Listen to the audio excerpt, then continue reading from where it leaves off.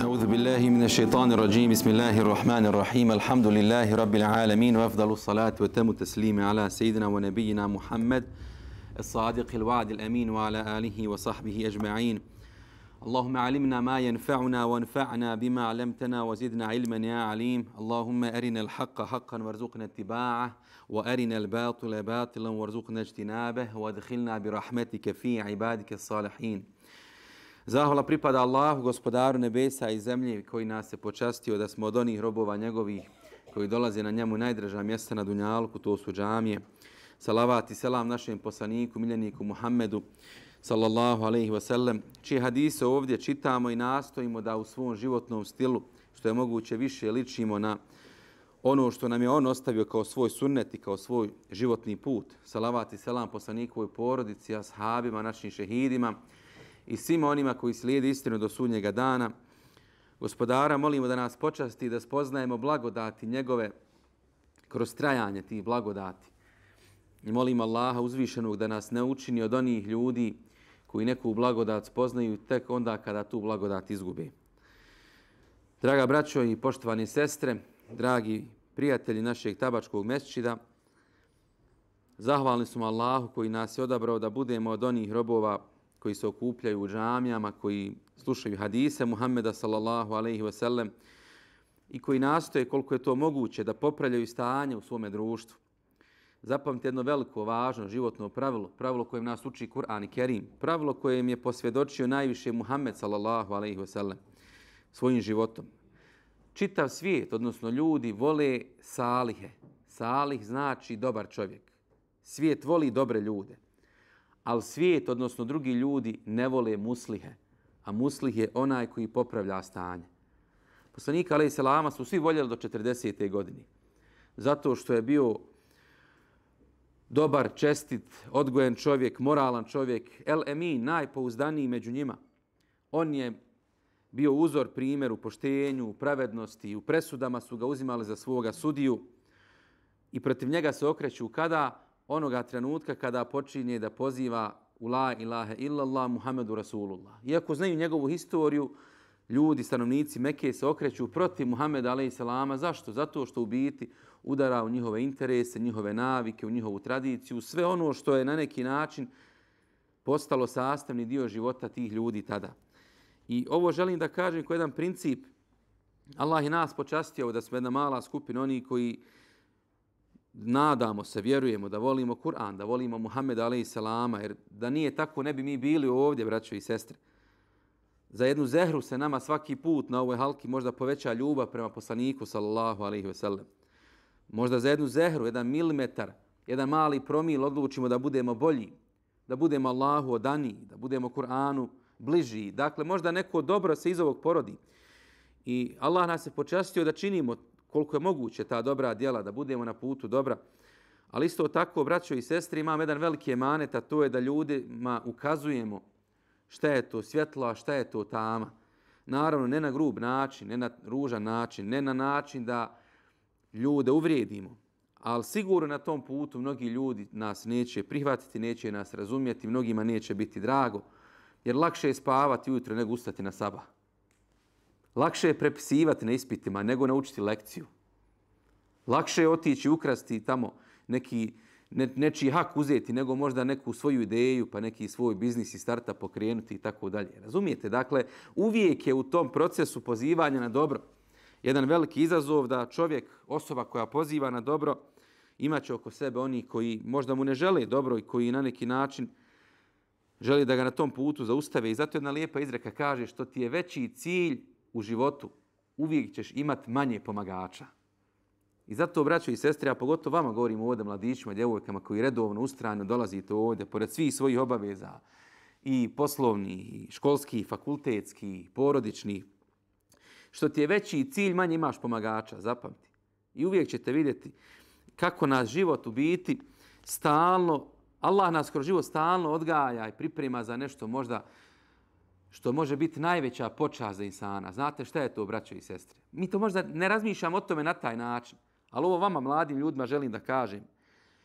Najveća počast na ovom dunjalku, naravno, nakon la ilahe illallah Muhammedu Rasulullah, nakon spoznaji ibadeta koji nam je Allah propisao jeste da te Allah upotrijebi na svome putu.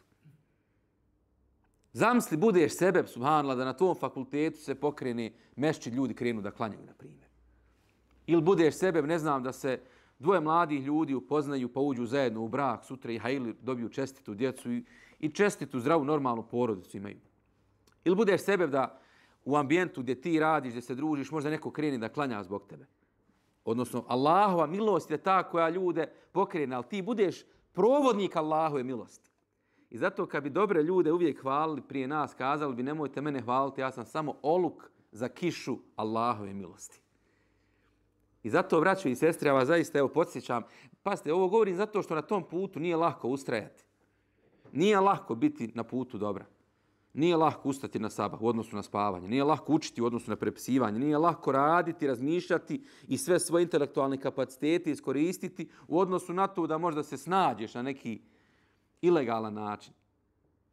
Ali zato slast toga da ostaneš uspravan i ispravan i da ostaneš uzdignutog čela i čistog obraza, e to se ni sa čim ne može plati kada prođe 20, 30, 50 godina čovjekovog života. I zato, braće i sestre, mladići, djevojke, evo, hvala Allah, pa nas je Allah počastio. Dakle, neminovno će iskušenja biti, neminovno će izazova biti, ali hvala Allahu, vi ste ustrajni na tom putu i ovdje mi je bilo bitno na samom početku da podsjetim i sebe i vas na važnost ovog našeg dolaska ovdje, ali na važnost ravnoteže jednog balansa. Od jednog mudrog čovjeka sam čuo, naravno puno puta ste vi to čuli, ali kad vidite da neko uspije u životu pa da izbalansira te stvari, onda te riječi imaju poseban kredibilitet, imaju tu posebnu snagu. Vi znate i sami da nekad neko nešto kaže, do vas ne dopiri. A nekad neko nešto kaže, čitavo tvoje biće se probudi, tvoje srce se preokrene, tvoja, tvoja duša pohrli da promijeni nešto u svome životu. Jer nečije riječi imaju snagu, nečije nemaju. Odnosno, ne, Allah nečijim riječima da snagu i bereket. A nečijim riječima gospodar uzme taj bereket. Znate za onaj primjer za Abdullah ibn Mubareka se veže da je da su mu došli neki ljudi. To je bilo tada robovlasničko društvo, znate. I kazao su, slušaj, učitelj, učenjak, da govori malo na hudbama, na vazovima, da se oslobađaju robovi. Da se oslobode robovi, da budu ljudi slobodni, tako dalje. Onom kazao u redu, hoću. I prošla su tri mjeseca, on nikako o tome nije govorio. I nakon tri mjeseca on počeo o tome da govori i sad neki od ovih robovlasnika oslobodio ovoga jednog od robova. I dolazi mu onaj čovjek i kaže, pa vide, Allah nagradi, nek si podstako ljude na ono što je kuranski imperativ. A i to je tema, naravno, za sebe možemo o tome govoriti svakako. Ali evo, čisto da razumijete, jedna, jedna interesantna je to, jedna kuranska lekcija. Dakle, Allah u Kur'an ne zabranjuje, ne dokida robstvo direktno, jer vrijeme u kojem dolazi Kur'an i Kerim je takav je sistem, robovlasnički sistem. Takav je sistem na čitavom dunjalku, ali podstiče stalno gospodar kroz različite oblike kefareta, otkupnina, dobrih nekih dijela, oslobađanja robova. Do te mjere da je nakon nekoliko stoljeća konsenzus iđma u Leme bio da je, da je robstvo dokinuto u tom, u tom smislu kako je poznato bilo tada. Zašto Kur'an ne dokida odmah robstvo? Pa zato što bi to tada značilo u tom trenutku izvršavanje te naredbe bi značilo socijalne nemire na, na ulicama odnosno u arabijskom polotoku. Zato što bi značilo nemire, zato što bi značilo generaciju ljudi koji ne znaju da žive u drugom sistemu. I zato je svaka tranzicija teška i zato svaka promjena pomalo mora, mora da ide. Razumijete kontekst, kontekst, kontekst o kojem govorim? Svakako da osloboditi roba jedno veliko, veliko, pohvalno, dobro djelo. I sada dolazi ovaj čovjek i kaže Abdullah ibn Mubareku, zašto nisi ranije govorio? A kaže Abdullah ibn Mubarek, zato što kaže ja nisam, kaže to u životu svome aplicirao, nisam ja to primijenio. Pa sam se ova tri mjeseca posvetio da zaradim novac, pa da kupim roba, pa da bude kod mene, pa da ga oslobodim, pa da ljudima o tome govorim. E kaže, zato su tvoje riječi imale efekta na one ljude koji su te slušali. I zato molim vas, braćo i sestre, jedna ta, ta ravnoteža koju težimo u svemu što hoćemo u životu da postignemo. I, dakle, starijih, mudrih, iskusnih ljudi sam čuo i zato mi je ostalo to. Jer sam čuo čovjeka koji ovo živi u životu, kaže, davno su kazali mudri ljudi, dakle, svijet počiva na tri neka stuba, odnosno čovjek i njegov život na tri stuba počiva. I u biti, pasite, evo, tronožac je ovdje ispred nas. Minimalno da bi nešto stajalo su tri noge, ali tako, minimalno. Dakle, to je Boži zakon. Na dvije noge, na dva stuba ne može da stoji neki objekat. Tronožac, to je Allahov zakon. Kaže, to su tri čovjekova dijela čovjekovog bića. Jedno je zdravlje, drugo je njegov posao, dunjaluk, dakle ono što radi. Treće je njegov taj emocionalni, duhovni dio, ljubav, porodica, vjera i tako dalje. To je, to je fizička dimenzija života, ova materijalna i ova duhovna, unutrašnja, u najširem smislu. I kažu, kada god jedna od tih dimenzija dobije prednost u odnosu na drugu, u smislu da se čovjek fokusira samo na jednu od tih stvari, uvijek će neminovno jedna od ove druge dvije stvari da se smanji, da se stavi u drugi plan i tako dalje. Pa čak je tako i sa vjerom, braćo i sestre. Ako ti shvatiš život na način da moraš da provodiš svaku noć na noćnu namazu, da moraš da svaki namaz u džematu da obaviš, da moraš da svaki dan tri žuza Kur'ana da proučiš i da moraš da opteretiš se stvarima koje u biti nisu farzovi, nego stvari koje jesu dobra djela i pohvalna djela, ali nisu farzovi. I ako tako doživiš vjeru, pa šta će ispaštati? Prvo tvoje zdravlje. Ti klanio čitavu noć, onda nemaš snage da ustaneš na sabah koji je farz. Ili odeš na fakultet koji je tvoja obaveza. Ili odeš na posao koji je tvoja nafaka. Razumijete koliko je ta ravnoteža i balans važan da se pronađe. Dakle, i zato ko pronađe ta, tu ravnotežu, da sačuva svoje zdravlje, fizičko i mentalno, da sačuva svoju, svoj dunjalog, da ne mora ruku ljudima da pruža, i ko sačuva svoju tu duhovnu stranu, da sačuva svoju porodicu, da sačuva svoju ljubav, da sačuva svoje emocije, da sačuva svoju vjeru na početku i na kraju, takav čovjek će živjeti u ranotežen, sretan život. I zato, braćo i sestre, uvijek nas gospodar kroz Kur'an i Kerim podsjeća na ovaj balans, podsjeća nas na ovu ravnotežu. Ja vas stvarno molim, evo gledajte u kakvom društvu živimo. Sve je više i više nekih izazova. Nekad insan uzme pa posmatra, subhanallah. Pa pasite, došli smo do toga da djeca pucaju na djecu, subhanallah. To je nevjerovatno stanje. Znam po svojoj djeci i znam po djeci mojih prijatelja kakve se priče i kakve se teme među osnovcima i srednjoškolcima nameću u naš narativ. I to će ući u njihova srca ako mi ne budemo to trgali, odnosno ako ne budemo ih na pravim vrijednostima odgajali. Pazite, nevjerovatne su to, nevjerovatne su to izazov. To, to, je, to je džihad našeg vremena, braćo i sestre. I mi se znate kao ljudi, ljudi uljuljamo. Možda ako ne puca ako što je pucalo prije 30 godina, mi mislimo stanje mira. Braćo i sestre, džihad, borba traje uvijek. Konstantna je to borba. Da ostaneš na putu dobra. Da sačuvaš sebe i svoju porodicu i svoj din, iman, svoju domovnu na pravi način. Stalna je to borba. I zato, braćo i sestre, moramo uvijek toj ravnoteži da teži, toj ravnoteži da, da je uspostavljamo, da je tražimo, ali da bismo to postigli, moramo znanje. Znanje je ključ. I da bi insan bio zdrav, i da bi insan bio uspješan u materijalnom smislu, da bi čovjek svoju vjeru čuvao, jačao. Braćo i sestre, mnogo, kažem, izazova imamo. Jedan od izazova jeste da učimo, da tražimo korisno znanje. Sjetim se uvijek one predaje kad je došao učenik imamu Šafi i kaže on učitelj, ja želim da učim. Znate, znanje ima snagu, braćo i sestre, ali kada ima snagu? Pa kad je na ispravnim temeljima kad ga čovjek želi sa iskrenim čistim nijetom i kaže učitelju želim da učim kod tebe. Kaže imam šafije, si siguran? Kaže jesam. Pa koliko želiš da učiš? Pa stalo mi je. Imam šafije, uzme njegovu glavu i zagnjuri onda u neki bunar koji je bio tu u blizini njegove kuće i nakon desetak, 15 sekundi pusti ga on. I kaže on sada njemu, kaže, po šta te bi učitelju? Kaže, po čemu se, kaže, razmišljao dok te glava bila pod vodom? Kaže, razmišljao sam samo o tome kako da dođem do zraka. A onda mu kaže, imam šafija, taj velika našeg umeta, kaže, slušaj sine, kad ti želja za znanjem bude bila veća od tvoje želje za zrakom, dok ti je glava bila pod vodom, e tad će ti Allah otvoriti bereket u znanju. I sve je tako, braćo i sestre. Dok se ne predaš projektu, ma ne možeš ga završiti kako treba.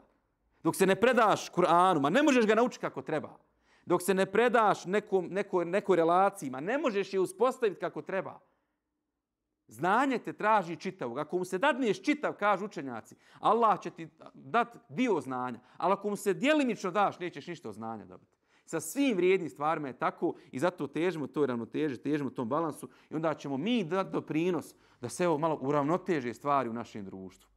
Da naša djeca i omladna koja dolazi ima neke uzore u koje može da gleda, jer zapamti jedno društvo nije siromašno kad nema resursa, ruda, minerala, šuma i ostalih materijalnih dobara jedno društvo je siromašno kad nema uzora za generacije koje dolazi. I ako naša djeca budu imale uzore u nekim ljudima, da ne kažem likovima koji su čudnog morala, ljudima koji promovišu nemoral javno, koji javno se, koji čine javno kufori, širki, psuju gospodara, kojima nije sveto ništa, koji ponižavaju i nas i narod i domovinu, kojima generalno je materijalno jedina priča i briga. Mi ne možemo odgojiti dostojanstvenu generaciju. Zato, braćo, mi moramo sebe preispitati, sebi se okrenuti i na pravi način evo, u jednom vremenu izazova, teških nekih momenata, pokuša da pronađemo tu ravnotežu i balans. Jer evo, prije, prije dove hoću ovo da, da imate na umu.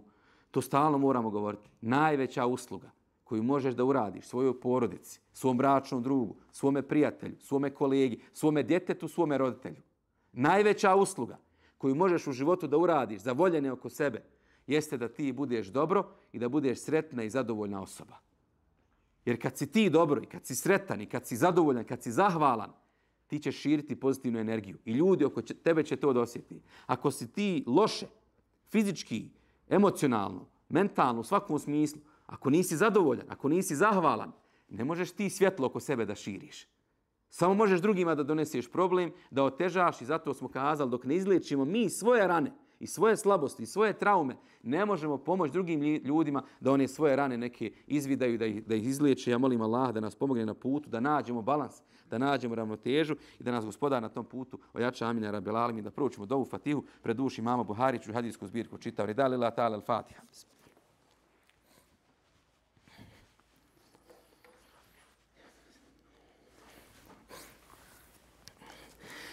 Baš zbog svega što sam kazao, i namjerno sam to kazao, došli smo do jednog hadisa, poznatog, važnog, vrijednog, velikog hadisa, poslanika, sallallahu alaihi ve sellem, velikog u smislu značenja i poruke. Poglavlja glasi, bab qiyami nebi, sallallahu alaihi ve sellem, el lejle, hatta terime kademahu. Poglavlja o tome da je poslanik, alaihi selam, stajao noću na namazu, toliko dugo da bi mu noge otcale, subhanallah. I preda ide, wa qalet Aisha radijallahu anha, kana je kumu, حتى تفطر قدماه والفطور الشقوق إن فطرت بمعنى إن شقت Aisha radijallahu anha je kazala, poslanik alaih salatu wasalam stajao je na namazu toliko dugo da su mu stopala znala da pucaju, da mu ispucaju stopala, subhana. Buharija kaže, ovaj izraz u Aishinoj izjavi, ovdje spominje, dakle, vel futur, dakle, tefetare, tefetare, u smislu el futur, znači ešukuk, a što znači cijepanje, razdvajanje, pucanje, u stvari imate tu u Kur'an i Kerimu i desema un fetaret. Oni koji uče malo Kur'an više ili naši hafizi znaju dobro.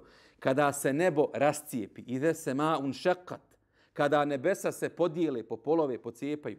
Dakle, ima to u Kur'an i Kerimu. E, dakle, Iša radijallahu anha spominje baš ovaj izraz. Te fetare. Da su njegove noge do te mjere kao da su mu pucale noge, subhanla. Kao što Allah u Kur'anu poredi za nebesa kad nastupi sudnji dan. Ovdje mi nam pada, kada poslanik alaih salatu je sela, znate da spominju se neki predajama da je Ebu Bekr radijallahu anhu pitao poslanika alaih salama, izbrojao mu je 17 sjedih u njegovoj kosi, 17 sjedih u njegovoj bradi. Dakle, nekoliko sjedih. Allah ga je sačuvao, kazali smo to ranije, od svake mahani. Pa čak i od toga, evo da u fizičkom smislu bude oronulog izgleda, da bude kako mi kažemo, muhtaž drugima da bude. Ali to je Allahova mudrost. Poslanika, ali i selama, je sačuvao svake mahane subhanu. Da bi mogao biti uzor ljudima. Sad ćete vidjeti ovaj hadis.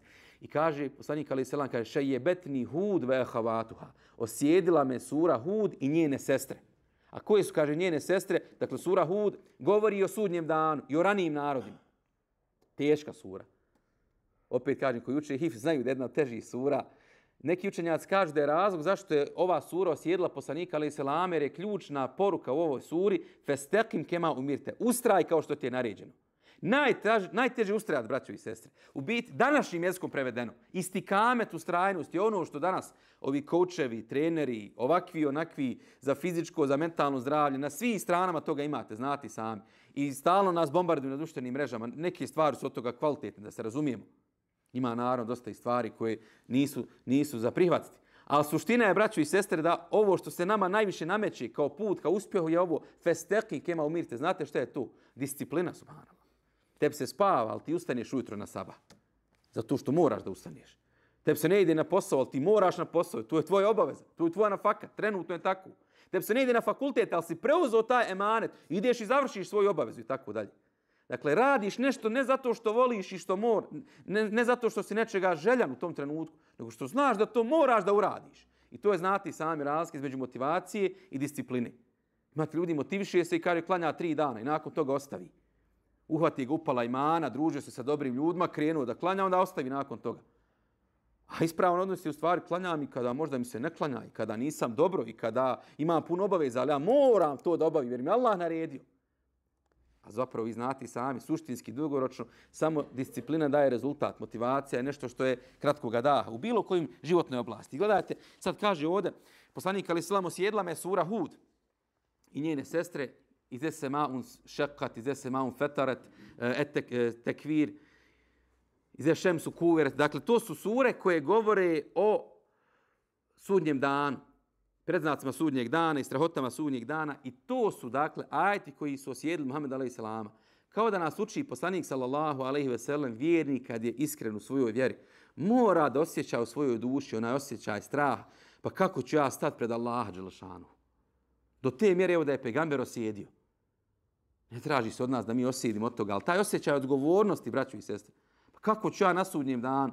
Znate, nekad se ponudi i kažeš, pa da je možda samo malo uradi nešto, deo ovako, deo onako, nešto. Nekad imaš priliku da nešto možda, onda se sjetiš, pa kako ću ja pred Allaha doći? Ja sam pričao i često to govorim, volim taj primjer, jer mi se moramo odgajati na takvim uzorima, braćovi i sestri.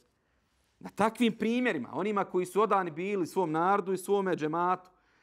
Kasim Efendija Dobrača, on je naš malim, živio u prošlom stoljeću, 80. godine preselio, ja mislim, iza drugog svjetskog rata, bio mu deris u medresi ovde i njemu je bilo rečeno u onom sistemu kada su udbe i udbaši na sve strane pravili neki fesad i nered kad je vera postala nepopularna. Samo su kazali, vidi, taj, taj čovjek treba da kažeš, da prihvatiš da je on to rekao. Treba da ti to potvrdiš. A onda on dolazi na razgovor kod tog inspektora i njem kaže, trebam ja da slažem na tog i tog čovjeka da je nešto rekao, da je nešto uradio. Kad ne, ti samo treba da ovo što smo mi napisali da ti potpišeš. Nemaš ti tu nikakve, znate, predstaviti se grijeh da je nešto, da je nešto relativno. A onda on kaže ovako, inspektore, kaže, gledaj, kaže, kada bi ti učinio da ono što je na nebesima, što je gore, da bude dolje, a ono što je dolje na zemlji, da bude gore, kad bi ti mogao preokrenuti nebesa i zemlju, a ne možeš to, to samo Allah može, tako mi Allaha, ja jednu riječ neistine ne bih slagao na svoga brata. I deset godina u zatvoru završi subhanu. E to je svijest o sudnjem danu, braćo i sestre.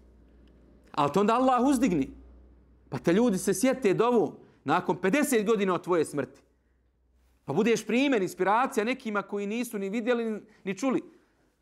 A oni drugi postanu poniženi, ne znaju ni ko su, ni, da su, vjetar im trag zameti. E to je snaga iskrenosti. Zato, braću i sestre, mladići, djevojke, ta svijest o sudnjem danu. Dakle, da budemo svjesni da ima da ovaj dunjalog prolazan i to treba uvijek da nas prati. I ovdje kaže Iša radijallahu anha da je poslanik alaih selam do te mjere klanjao da su mu stopala pucala. Evo samo kratko da hadis pročitamo. Hadesena Ebu Nuaym kale hadesena Mis'arun an Zijad kale sami'atu al-Mughirata radijallahu anhu yaqul. Pričao nam je Nuaym, njemu Mis'ar, prenosi još Zijada, on čuo Mughiru radijallahu anhu koji kaže In kana nabiju sallallahu alaihi ve sellem la yaqumu li yusalli hatta tarimu qadamahu. Vjerovjesnik alejhi selam je na nogama noću stajao da bi se Allahu molio, dakle da bi klanjao namaz. Ustajao bi da klanja namaz. U noći namaz, govorimo o tome sve vrijeme. Toliko da su mu cjevance oticale. Dakle. Ova, takav je prijevod ovdje kod, u ovom prijevodu, ali kada ma u najširim smislu su stopala. Evo sa kahu, dakle, ili njegove, dakle, stopale njegove cjevance, zavisi kako se, kako, s koja se predaja uzme, fe yuqalu lehu, pa mu je bilo rečeno, efe, za, zašto to radiš? Zašto si takav Allahu poslaniče? Zašto, zašto to činiš? Dakle, nije nam jasno. Klanjaš toliko, evo Iša kaže da ti noge otiču, subhanallah. A on kaže, fa efela ekunu abden šekura. Pa je on rekao, zar da ne budem Allahu zahvalni rob? Braćo i sestre, ovo je jedan od poznatih hadisa poslanika, alaihi salama, kojim nas uči Rasulullah, sallallahu alaihi wasallam principu zahvalnosti ne traži Allah uzvišeni od Muhammeda alejhi salatu vesselama čak ovakav odnos. Pazite, imate u predaji se navodi jednoj drugoj da je nakon ovakvih slučajeva Allah uzvišeni objavio poslaniku alejhi salamu kada je klanjao dugo po čitavu noć da su mnogi oticali. Kaže Allah mu objavio Taha ma enzelna alejke al-Qur'an li teška. Taha mi ti ne objavljujemo Kur'an da ti bude teško. To je jedan od povoda objave ovog ajeta, kažu učenjaci eh, koji se bave tumačenjem Kur'ana. I čak neki kažu da je Taha ime Muhammed a.s. Međutim, Allah najbolje zna. Mi ne možemo dati konačno mišljenje, ali kažu da je jedno od, od mišljenja o Taha u biti, kao da je Allah rekao pegamberu Taha, Ovo ta dolazi od glagla vetae, što znači stati, nagaziti. Ta, ha, stani svojom nogom na tu zemlju. Jer kažu, poslanik alaih je tako uklanjao noći namaz. Kad ga zaboli jedna noga, on podigne tu nogu da bi odmorila pa sav teret svoga tijela prebaci na drugu nogu. Pa onda kad se ta noga umori, prebaci teret na drugu nogu, subhanallah. I jedno od tumačenja je ta, ha, spusti svoja stopala na tu zemlju, mi ti ne objavljamo Kur'an da ti bude teško, subhanallah. Evo je princip, braću i sestre. Poslanik alaih od sebe daje još više. Allah uzvišeni gospodar svih svjetova ne traži od poslanika alaih salatu da on muči sebe. Ali ovo je princip zahvalnosti. Princip, Allah nas uči principima. Oprostio je pejgamberu gospoda grijehe i što su bili i što su mogli da budu, a sačuvanje od grijeha bio. Ali nas princip uči. Znate što znači Allaho ime Ešekur? Allah kažu zahvalni. To je taj princip. Allah je onaj koji za malo tvoje dobroti daje puno blagodati svojih. Malo Allaha poslušaš, Allah ti otvori mnogo dobro u tvome životu. Malo se udaljiš od lošega društva, Allah ti mnogo dobrih prijatelja u životu pošalje. Malo se sustegneš od svojih strasti, Allah ti mnogo bereketa u tvome dobrom putu otvori. Malo od sebe daš sadaki, Allah ti mnogo bereketa u tvojoj nafaki dadeni. Malo daješ, Allah puno vraća. I to je princip zahvalnosti. Zato kad je Musa a.s. razgovarao sa Allahom, kaže, o Musa, gospodaru moj, Musa a.s. kaže, gospodaru moj, kako da se zahvalim, subhanallah, šta god da uradim, imam osjećaj da je malo. Šta da uradim, gospodar moj? Onda mu kaže, gospodar nebesa i zemlje, ja Musa, e šukru ma'rifetul ađzi ani šukr. O Musa, zahvalnost je kad spoznaš da mi se ne možeš zahvaliti. E to je suština, braćo i sestre. Kad spoznaš da se Allahu ne može zahvaliti. I zato neki učenjaci kažu, zahvalan je onaj koji se Allahu zahvalje na onome što ima i što je dobio. A mnogo zahvalan je Allahu onaj koji se zahvaljuje na onome što nije dobio. Znam si tog stepena zahvalnosti. Da kažeš Allah, dragi, jeste iskušao si me. Možda, možda se desilo u braku, nešto nije išlo kako treba. Možda me iskušao gospodar, nema me vlada. Možda me iskušao, nema mi metka kog sam sanjao. Možda neki posao, projekat nije išao kako sam planirao. Iskušate gospodar, ali ti kažeš Allahu moj, tebi hvala, ti znaš koja je mudrost u tome a moje je da se trudim, radim i tebe molim da mi podariš ono što je najbolje za mene. To je zahvalnost, braćo i sestre. A obrnuto je stanje danas kad ljudi imaju blagodati, a zanemari da Allahu na tim blagodatima zahvali. Zato vas zaista molim, braćo i sestre, ova nam hadis evo dolazi u neko specifično vrijeme. Hoću da završim sa nekoliko poruka važnih. Mislim da je ključ izlaska iz ovog stanja u kojem mi živimo ova osobina, braćo i sestre. Ova osobina u zahvalnosti. Kaže poslanik Ali Selam jednom drugom hadisu, isto tako, naravno, o tome se može čitao predavanje, ali kratko samo, kome kaže Dunjaluk bude bio najveća briga. Kaže, Allah Đelešanuhu mu nikad neće da da se slože stvar u njegovom životu. I uvijek će mu neko nezadovoljstvo biti u njegovim očima. A od Dunjaluka će mu doći samo ono što mu je propisano. A kome ahiret bude bio najveća briga, Allah će mu složiti stvari u njegovom životu. I daće mu zadovoljstvo u njegovim očima šta god da mu se dešava. A dunjaluk će mu dolaziti iako mu se opire subhanama. Ključ, braćo i sestre, izlaska iz neke krize, evo, na nivou pojedinca, pa porodice, pa komšiluka, pa mahali, pa džemata, pa naroda je, preispitati svoju najveću životnu brigu. Kad je tu postavka pogrešna, u samom startu, To je ono što danas ovi moderni menadžeri, lideri govore nađi svoje vaj, nađi svoje zašto. Zašto radiš to? Šta hoćeš sa tim? Šta ti je krajnji cilj? Evo, bilo koja životna relacija. Studiraš zašto? Ulaziš u posao zašto? Ženiš se, udaješ se zašto? Govoriš ljudima javno zašto? Ulaziš u neke tamo procese, u neka društva. Zašto tamo? Šta želiš da postigneš? Šta ti je cilj? Kad je to zašto ispravno, gospodar će pomoći da se ono kako ako bude otvori. A kad je zašto neispravno, braćo i sestre, ne možeš ti onda pričat o kako i o, i o načinima, metodama i tako dalje. I zato vas molim, braćo i sestre, u najširijem smislu, u mladići, djevojke, vama govori, zahvalnost. Zahvalnost nije samo osobina, elhamdulillah, na jeziku, a ti se u životu nešto patiš, teško ti je. Ne. Zahvalnost je da se stalno pomjeraš prema boljoj verziji sebe. I da blagodat koje imaš ti unapređuješ, ali da si ono u čemu se nalaziš ispunjenog srca Allahu na tome. Primjer, Allah ti dao i metak, zahvalan si tako što dijeliš i metak. Allah ti dao znanje, zahvalan si tako što znanje dijeliš. Allah ti dao zdravlje, zahvalan si tako što to zdravlje koristiš da pomažeš ljudima, da padneš na seđdu, a ne da provodiš vrijeme u grijehu, ne da ljudima zulum neki činiš, ne da siješ strah po gradu. Allah ti dao poziciju, zahvala si tako što toj poziciji, tom pozicijom ti služiš svome narodu. Postaješ milost za ljude s kojima živiš, a ne postaješ proklestvo, ne postaješ teret. Samislite stanje ljudi koji ljudi stave na poziciju, onda ljudi proklinju zato što su oni svom narodu otežali. Zato što im je neispravno ono zašto bilo. I zato vas molim, braćo i sestre, zahvalnost kao vrlina, kao osobina, ona je ključ izlaska iz neke krize, iz mentaliteta žrtve. Ne daju mi, nemoguće, ne, ne, nema šansi, ne, ne ide to i tako dalje. Taj odnos kojeg nas uči šetan prokliti preko ljudi koji slijede šetana, se liječi zahvalnošću, braćo i sestre. Molim vas, zahvalnost je zato prva u Kur'anu spomenuta kao vrlina. Elhamdulillahi rabbil alemin. Ako bude srce puno zahvalnosti, sve ćeš lako poslije toga. Ako bude nezahvalnosti, ne možeš ti. Pa Allah u Kur'anu govori, živite lijepo evo sa svojim ženama. Na primjer, primjer porodice, braka. Navodim nešto što svakodnevno dobivam kao pitanje, kao borbe neke ljudi s kojima mi živimo. Pa problem, pa svađa, pa ovako, pa onako. Kaže Allah, živite lijepo sa svojim bračnim drugovima. Ako bude nešto što mrzite, što prezirete, možda je u tome neko veliko dobro. I znate šta se mora desiti u glavi jednog mladića, jedne djevojke, jednog muža, jedne supruge, jedne porodice? Šta se mora desiti? Samo da napraviš ovaj, kako mi to kažemo, shift u svojoj glavi. Da umjesto da gledaš šta nemaš i šta ne valja i šta su mahane, gledaš šta imaš, šta valja i šta su vrline. I počinje se dešavati promjena na bolji. Jer kad staviš fokus na pozitivno, bude ti sve pozitivno. Kad staviš fokus na negativno, sve bude negativno. E zahvalnost ti pomaže ne da promijeniš svijet oko sebe, nego da promijeniš svoj pogled na svijet u kojem živiš. Zato nas Allah uči u ovoj vrlini. I zato vas molim, braćo i sestre, evo, još jedna izreka jednog velikana, pročitao sam jednom u Risale od mama Kušerija, prelijepa rečenica, hoću s vama da podijelim, da malo podignem ambicije i sebi vama. Kažu, običan svijet se Allahu zahvaljuje na hrani i na odjeći. Vi ste došli na halku večeras.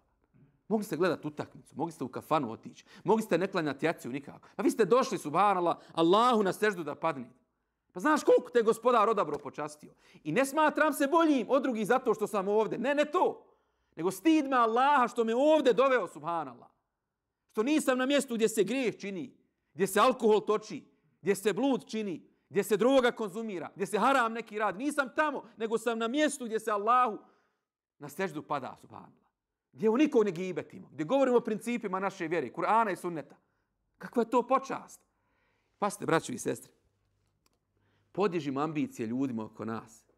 Niko od nas nije toliko dobar da ne može biti bolji. Kaže ovaj velikan, običan svijet se Allahu zahvaljuje na hrani i na odjeći. A odabrani se zahvaljuju Allahu na onome što je zadesilo njihova srca. Evo bih volio da zapamtite kad bi ti neko kazao, evo ti milion, ali nemoj sutra ustati na saba. Da ti kažeš milijardu da mi dadneš. Moj, moj sabah mi ne možeš oduzeti. E to je zahvalnost, braćo i sestre. Kad bi ti neko kazao, evo ti milion, da lažiš, da petljaš, da spletkariš protiv svoga brata, da mi milijardu dadneš, istok i zapad, neću, subhanallah. E to je zahvalnost, braćo i sestre. I tu je početak snažne generacije koja sutra može da promijeni nešto. Koja sutra može da napravi iskorak u društvu u kojem živi. Kad su jaki, morali, snažni, Allahu zahvalni. Ma ne možeš mi, ne možeš mi platit mojih pet minuta sa Allahom, bolan. Ma ne možeš mi moj džemat platit ni sa čim na dunjalku. Ne možeš mi platiti to da ne mrzim nikoga iz svoga safa. Da ne, splet, ne, ne, ne pravim spletku nikome s kim živim. E to je, braćo i sestre, snaga zahvalnosti. I zamislite da to imamo u svom društvu. Zato ja zaista želim da ovdje podsjetim i sebe i vas i sve one koji nas gledaju. Zahvalnost, braćo i sestre, je ključ sreće za jednu porodicu. Vjerujte, sve dok gledaš šta nemaš u problemu si. Kad počneš vidjeti šta imaš i zahvaljivati se, život se mijenja. Tako mi Allaha život se mijenja ustani na sabah, klanjaj Allahu dva rekata. Ako ne možeš u džamiju, a bolje u džamiju, ali ako ne možeš kod svoje kuće. I nemoj prespavat sabah mjesec dana. Tako mi Allaha, život će se promijeniti. Ostavi loše društvo i velike grijehe, mjesec dana ostavi. Život će se promijeniti. Jer ti si naručio da ti Allah bereket spusti ono što imaš. I zato nekad evo dolazi zima, nekad otište u neku hladnu sobu da vidite blagodat tople sobe koju imate. Otiđite nekada u bolnicu pa da vidiš blagodat zdravlja. Tiđi nekad u zatvor da vidiš blagodat slobode. Nemojte preskakati one klipove u Palestini tamo. Ja znam da su boli, ne možemo ništa, ali pogledaj, prati što se dešava. Da ti srce ostane blago, zahvalno, ponizno, skrušeno. Da te stid Allaha što imaš večeru, što imaš mir, što imaš sigurnost, što imaš toplu postelju. Što danas, večeras pred, na tvojom kućom bombe ne padaju. E tako, braćo i sestre, treba da liječimo, da jačamo svoja srca. Ja molim Allah da nas pomogne da ove stvari razumijemo. Molim gospodara svih svjetova da nam zahvalnost poveća i da kroz rad na sebi, jačanje naših srca, popravljanje svog odnosa prema Allahom blagodatima, mi popravljamo svijet i društvo oko sebe. Amin, rabel alimin. Da proučimo dovu, stati da završimo. Eudhu billahi mine šeitan rajim, bismillahirrahmanirrahim. Gospodar naš, počasna se, nemoj nas poniziti. Gospodar naš oprostna grijeha, nemoj nas kazniti. Gospodar, molimo te za džennet i svako djelo koje džennetu približava. Allah zaštiti nas od džehennema i svako djela koje džehennemu približava. Molimo te, gospodar, čuvaj nas nad zemljom, čuvaj nas pod zemljom, čuvaj nas kada tebi krenemo. Allah, počast nas, gospodar, da srce naša zahvalna tebi budu. Molimo te, gospodar, daj da nam Muhammed a.s. bude uzor u zahvalnosti. Molimo te, gospodar, mi znamo da imamo puno grijeha, ali znamo da je milost tvoja veća od naših grijeha, pa te molimo grijehe na naše oprosti. Allah, mi se ovdje sastajemo, gospodar, tražići milost tvoj, pa molimo te, gospodar, ti, nam, ti nas milošću svojom pogledaj. Allahu daj da se raziđemo odavda, ti nam grijehe naše oprostio. Molimo te, gospodar, počasti nas da budemo od onih koji će Muhammed a.s. prepoznati kao istinske sljedbenike svoje na sudnjem danu. Allahu, gospodaru naš, pomozi nam da čuvamo naše namaze, neka nas naše namazi odgajaju. Gospodar, daj nam snage da činimo dobro u svome životu. Allahu, koji je bolestan zdravljem mu podari, koji je tužan tugu mu razgali, koji ima neki dug, pomozi mu dug svoj da vrati, koji ima neki ispit, ovo svjetski, ono svjetski, pomozi mu ispit svoj da položi. Ko čeka i traži bračnog druga, počasti ga da nađe hajlu bračnog druga. Ko čeka potomstvo, Allah ti ga obraduj gospodaru naš. Allahu daj nam ono što je dobro za nas. Gospodaru, pomozi nam i udalji od nas ono što nije dobro za nas. Gospodar, spoznaj, daj nam snage da spoznamo što je to što nas od tebe udaljava pa da se mi od toga udaljimo. Gospodar, osnaži naš narod, osnaži našu zajednicu, osnaži našu omladinu, gospodar. Neka nam donjaluk ne bude najveća briga. Neka najveća briga bude to da li si ti zadovoljan sa nama. Molimo te, gospodar, pomozi umet Muhammed alaih. Osnaži umet Muhammed alaih. Pomozi i olakšaj našoj sestri, našoj braći i sestrama u Palestini, u Gazi, u Libanu, na svakom drugom mjestu. Molimo te, gospodaru, Budi zadovoljan sa nama na dan kada ni metak ni sinem neće koristiti. Ako mi zaboravimo tebe, nemoj ti zaboraviti nas. Oprosti nam grijehe. Budi zadovoljan sa nama i smilu nas se gospodar da budemo u društvu Muhammeda alejhi salama na sudnji dan. Subhane rabbika rabbil izzati amma yasifun wa salamun alal mursalin. Walhamdulillahi rabbil alamin. Al-Fatiha.